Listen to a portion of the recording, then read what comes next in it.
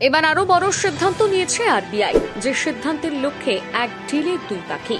আর করা যাবে না জালিয়াতি। আটকানো যাবে বিজয় মাল্য থেকে নীরব মোদীর মতন ঋণ খেলাপিদের কি সেই সিদ্ধান্ত? যা শুনলে আনন্দে লাফাবেন আপনিও। গ্রাহকদের সুবিধার্থে বরাবরই নতুন নতুন সিদ্ধান্ত ও পরিষেবা নিতে দেখা যায় ভারতীয় রিজার্ভ ব্যাংকে। এবারেও সেরকম একটি উদ্যোগ নিয়েছে আরবিআই। এবার যে উদ্যোগ নিয়েছে, সেটি একই সঙ্গে দেবে দু রকমের সুবিধা। যেমন, এই পরিষেবার মধ্য দিয়ে একদিকে ঋণ গ্রহীতাদের জন্য এক বিশাল বড় সুবর্ণ সুযোগ নিয়ে আসছে আরবিআই।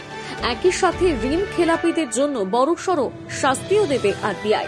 এর ফলে বড় বড় ব্যাংক জালিয়াতি থেকে শুরু করে প্রতারণার ঘটনাগুলোকেও খুব সহজেই আটকানো যাবে। আরবিআই এর নতুন সিদ্ধান্ত অনুযায়ী, যদি কোনো ব্যক্তি ঋণ খেলাপি হয়ে থাকেন কিংবা কোনো সংস্থা যদি ব্যাংক জালিয়াতির মতন ঘটনায় জড়িয়ে পড়েন সেক্ষেত্রে ব্যাংক এবং ফাইন্যান্সিয়াল কোম্পানি কম পরিমাণ অর্থের বিনিময়ে হিসেব নিকেশ করে লোনের সেটেলমেন্ট করার সুযোগ দেবে। এক্ষেত্রে ঋণ গ্রহীতার বিরুদ্ধে কোনো প্রকার আইনি বা ফৌজদারি ব্যবস্থা নেওয়া হবে না। এক্ষেত্রে যেমন বিজয় মালিয়া ও নীরব মোদীর বিরুদ্ধে আইনত ব্যবস্থা নেওয়া হয়েছিল, এবার থেকে এরকম কিছুই হবে না।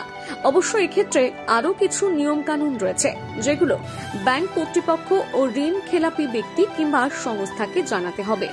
সম্পূর্ণ এই বিষয়টি নিয়ে ব্যাংক কর্তৃপক্ষরাও বেশ আশাবাদী। এই সিদ্ধান্তের ফলে অন্তত ব্যাংক প্রতারণার ঘটনাগুলো কমিয়ে আনা যাবে বলেই মনে করছে একাংশ।